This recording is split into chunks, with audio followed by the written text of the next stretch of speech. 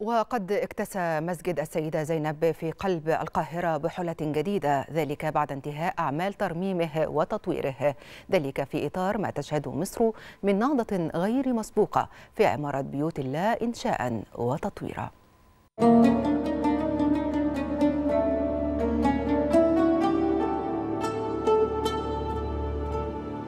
مسجد السيدة زينب رضي الله عنها هو أحد أشهر مساجد القاهرة. يقع المسجد في الميدان المسمى باسم الجامع ميدان السيدة زينب وشهد منذ إنشائه عمليات توسعة وتطوير عديدة. تم إنشاء هذا المسجد في عهد الخديوي توفيق سنة 1302 هجرية ومر المسجد بعدة توسعات.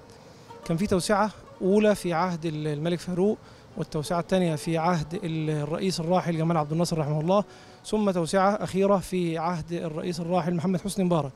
وتم عمل مدخل جديد للمسجد وتم إنشاء قبة أعلى المدخل الجديد في أثناء عملية التطوير الحالية التي تتم أو التي تمت في عهد فخامة الرئيس عبد الفتاح السيسي حفظه الله.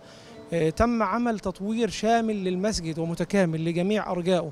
لكل التوسعات للمسجد الأصلي وللتوسعات الأخرى المحيطة بالمسجد. نحن نتوجه بالشكر إلى فخامة الرئيس عبد الفتاح السيسي الذي يولي مساجد مصر عامة اهتماما ومساجد آل البيت بصفة خاصة اهتمام أكبر. أعمال التطوير الحالية شملت جميع العناصر الأثرية وتجديد الواجهات والزخارف والشرائط الكتابية والزجاج المعشق والقبة والمأذنة والشبابيك الغصية والأبواب الخشبية. والزخارف الفضية والنحاسية لمسجد السيدة زينب رضي الله عنها. سيدتنا السيدة زينب هي حفيدة سيدنا محمد صلى الله عليه وسلم.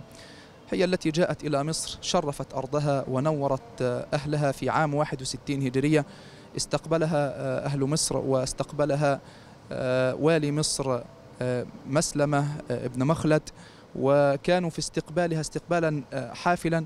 فشرفت أرضها ونورت أهلها ودعت لأهل مصر جميعا بالخير والبركة والنصر والفرج.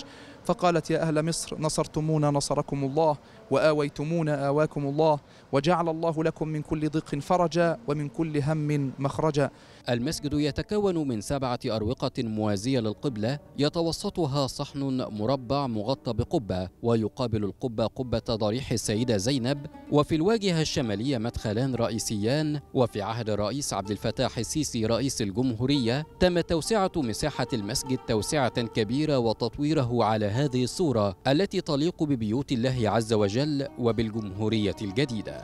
يعد مسجد السيدة زينب من أهم الآثار الإسلامية في قلب العاصمة القاهرة. وعلى مر التاريخ اهتم الحكام بتطوير المسجد وضريح السيدة زينب وعدوه من الأماكن الرئيسية لآل بيت النبوة صلى الله عليه وسلم. أحمد الحسيني التلفزيون المصري.